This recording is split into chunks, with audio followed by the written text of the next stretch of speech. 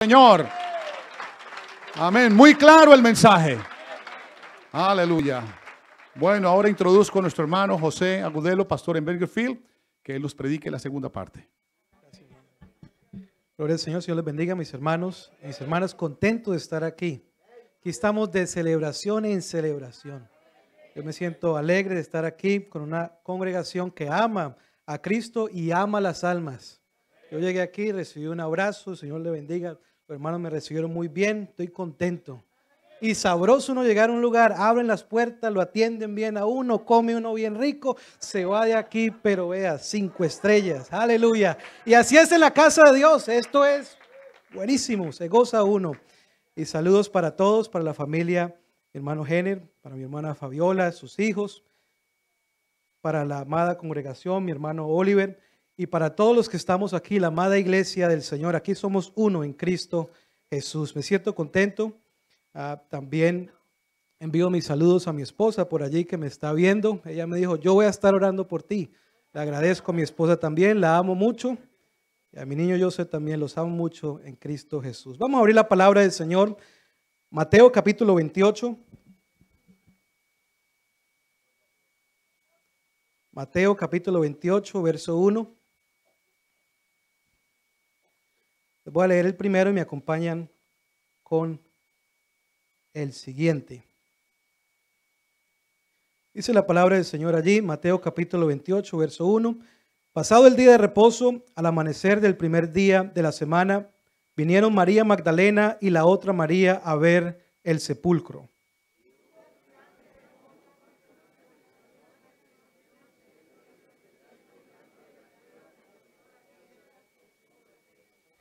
Su aspecto era como un relámpago y su vestido blanco como la nieve.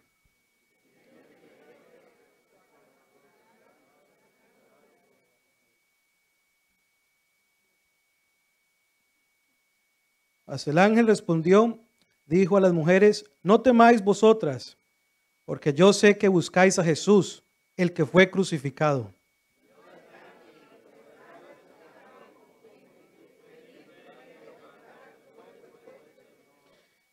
E id pronto y decid a los discípulos que ha resucitado de los muertos. Y aquí va delante de vosotros a Galilea. Allí le veréis. He aquí os lo ha dicho.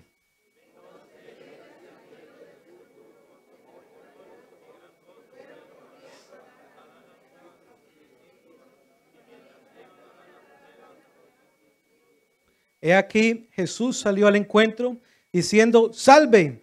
Y ellas acercándose abrazaron sus pies y le adoraron todos. Entonces Jesús le dijo, no temáis, id, dad las nuevas a mis hermanos para que vayáis a Galilea y allí me verán. Aleluya. Aleluya. Pueden tomar asiento mis hermanos. Somos portadores de una gran noticia. La gran comisión son hombres que ya han padecido pero están esperando la resurrección de los muertos. Nosotros somos la iglesia actual, la cual nosotros somos los que llevamos a Jesucristo.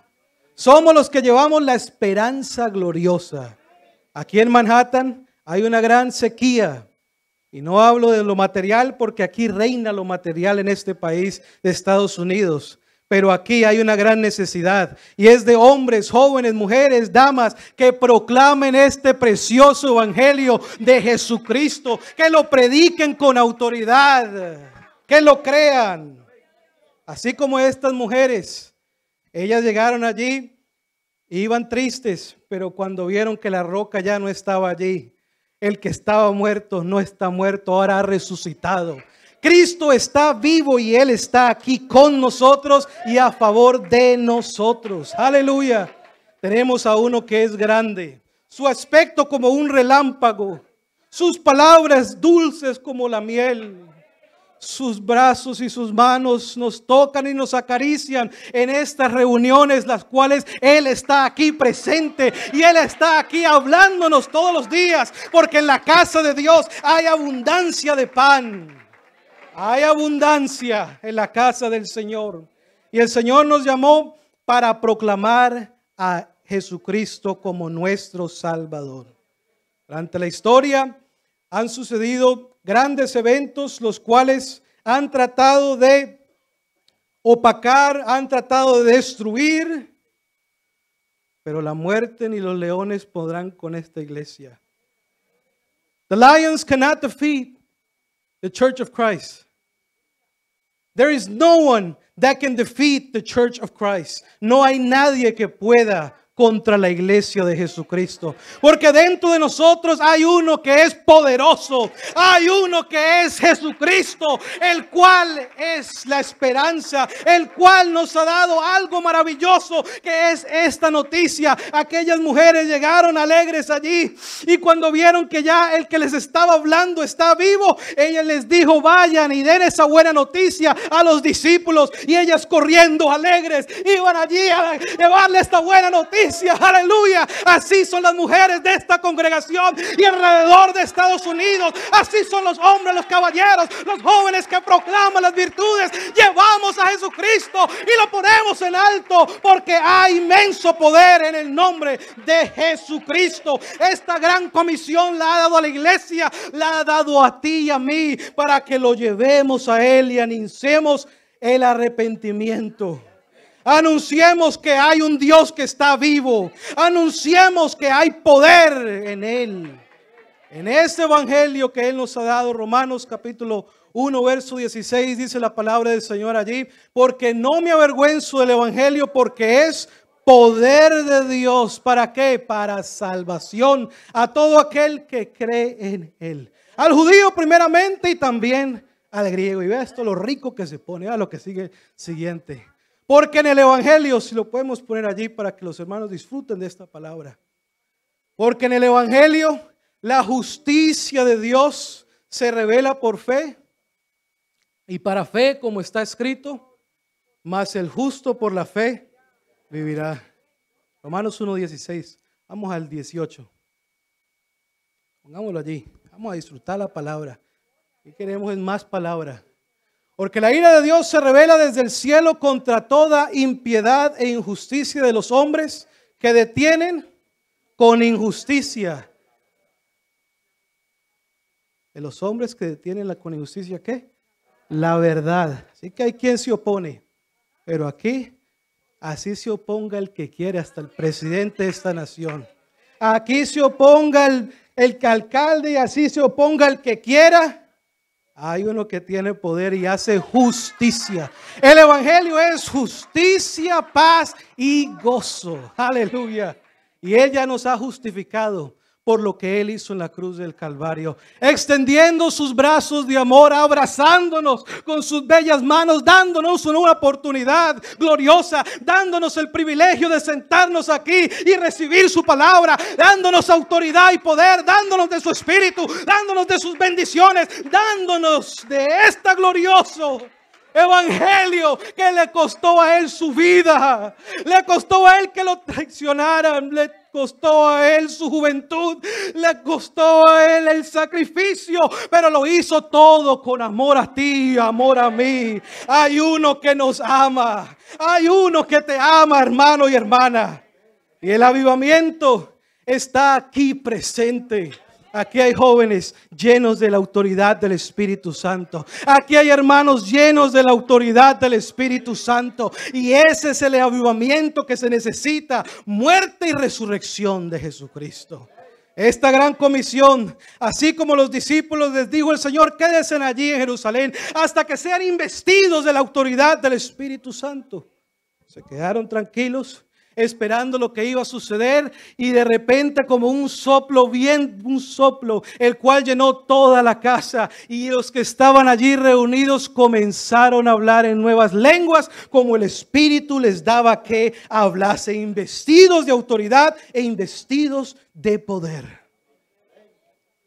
Nuestros misioneros, los cuales nos han traído esta palabra de esperanza, aunque unos ya están esperando la aparición del Señor, hay una esperanza de resurrección, porque esa es la esperanza para el cristiano.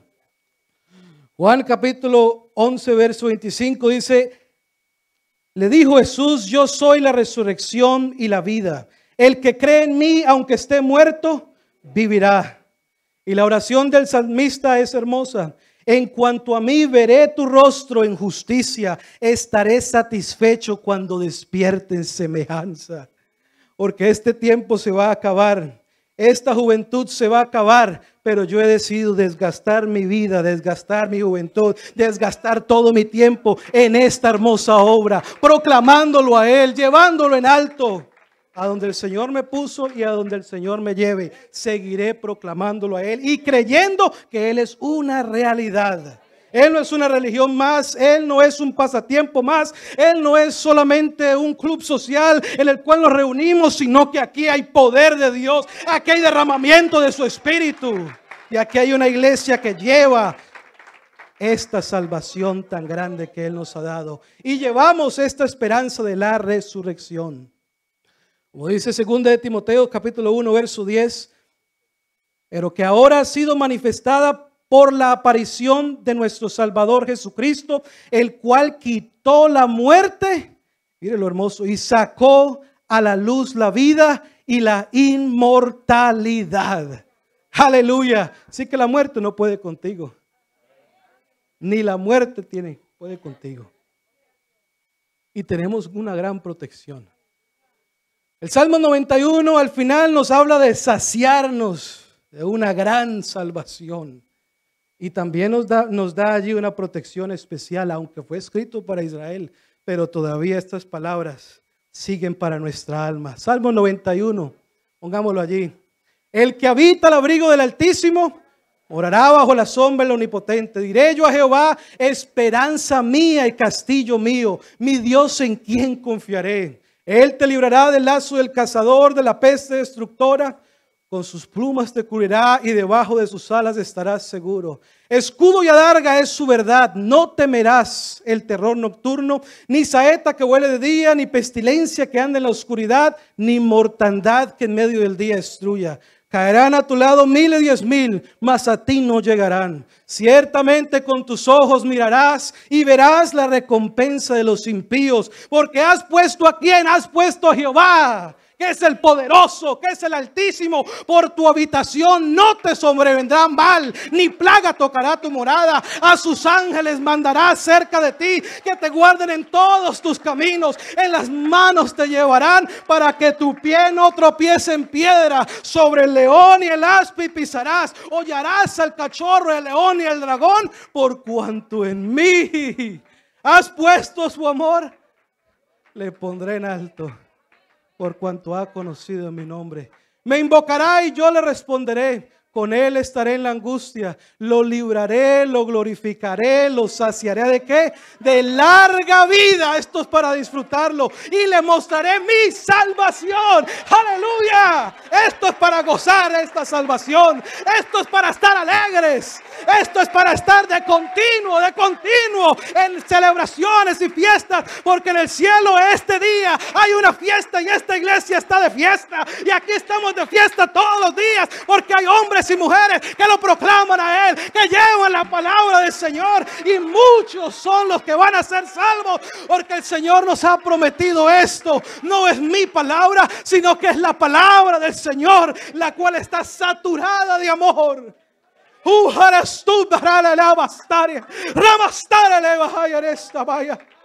Aleluya. Esto nos ha llamado el Señor a cumplir la gran comisión a llevar este evangelio a lo largo y ancho de esta nación que Él nos ha puesto y muchos creerán a esta buena noticia.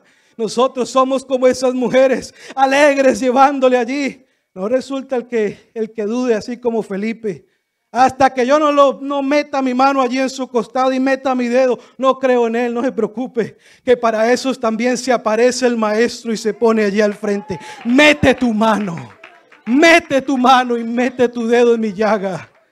Señor mío y Dios mío, aleluya, esa es la autoridad que Él nos ha dado. Ese es el avivamiento que necesita Estados Unidos. Aquí está sentado el avivamiento. Gracias al Señor por el avivamiento en Azusa. Gracias a Dios por los grandes avivamientos que han sucedido. Pero aquí en Manhattan hay avivamiento en el nombre de Jesús. Porque el avivamiento es Cristo en nosotros, la esperanza de gloria. Cristo en ti, la esperanza gloriosa. Aleluya, aleluya, aleluya. Aquí hay poder de Dios. Aquí hay Espíritu Santo en abundancia. Aquí hay palabra en abundancia. Aleluya, tú eres de gran bendición, hermano y hermana. Tú eres de gran bendición. Y el que está dentro de ti. El que está dentro de ti te indicará por dónde debes andar y qué debes decir. Y las señales te seguirán a ti. El Señor confió en aquellos doce hombres, pero aquí hay una iglesia llena. Uh, aleluya. Y esto a mí me anima de que aquí el avivamiento ya está. No estoy esperando otro avivamiento. Me perdonan los que están esperando otro avivamiento, pero aquí el pastor es el avivamiento. Este pastor es avivamiento. Tú eres avivamiento. Porque el avivamiento es Jesucristo. Aleluya. Muerte, yo seré tu muerte. Son las palabras del avivamiento. Si Dios es con nosotros, ¿quién? ¿Quién va a poder contra ti? Y lo cantamos, aunque un ejército Va a llegar la circunstancia, eso sí, hay que decirlo. Va a llegar también el tiempo difícil, pero esto no se gana sino así de rodillas. Esto se gana así de rodillas.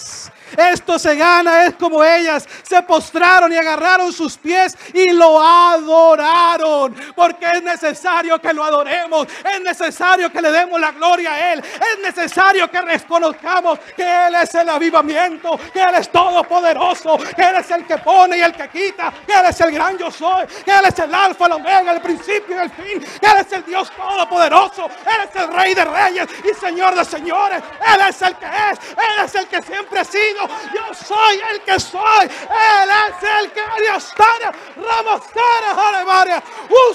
Veria. Y esto que hay dentro de ti son esos ríos de agua viva. Lo que sale para las multitudes que necesitan es esa antorcha que ilumina en nuestro interior. Y esa unción que hay dentro de nosotros se desborda a la gran necesidad que hay. A la gran necesidad que hay. Te llamó a ti, me llamó a mí para llevarlo a Él, para llevar la luz, para llevar la esperanza, para llevar el Evangelio, para llevar la resurrección y la vida de Jesucristo. Es Cristo en ti la esperanza gloriosa. Aleluya.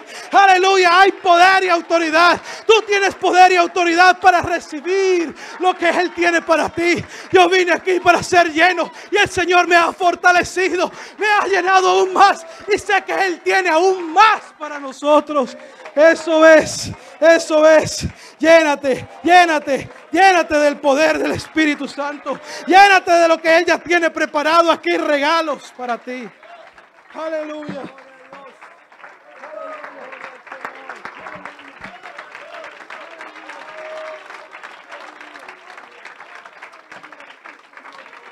Aplauda al Señor, hermano. Más fuerte el, aplauso para el Señor. Aleluya. Gloria a Jesús. Aleluya. Ese aplauso una vez más fuerte para el Señor. Amén.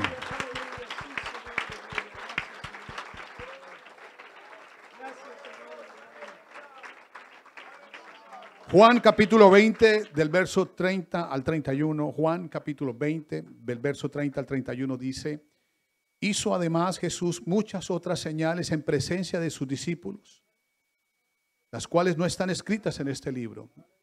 Ahí está. Juan 20, 30.